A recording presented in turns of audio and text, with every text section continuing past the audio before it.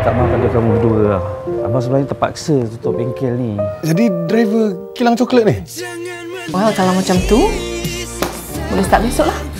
I tak tahu kenapa lah tapi I rasa sangat selesa and I tak pernah rasa happy macam ni. You milik I seorang. Cinta ni kan tak semestinya kita memiliki.